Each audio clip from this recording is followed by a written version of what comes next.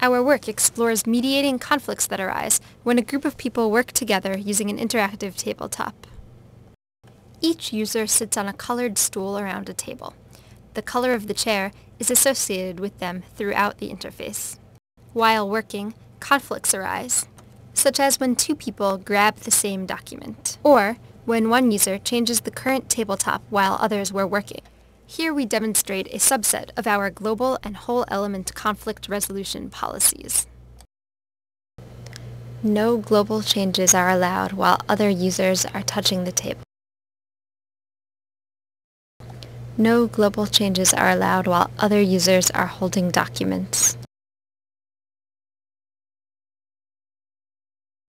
Users vote on whether to accept global changes. Public. Private. Sharing by releasing. Sharing by reorienting. Sharing by relocating. Sharing by resizing.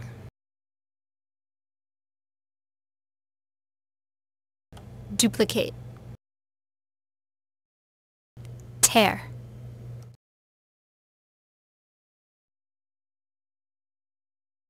Personalized views.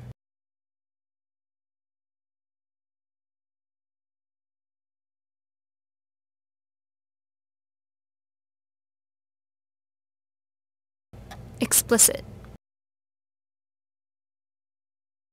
These policies are enabling us to explore alternatives to relying on social protocols for conflict resolution.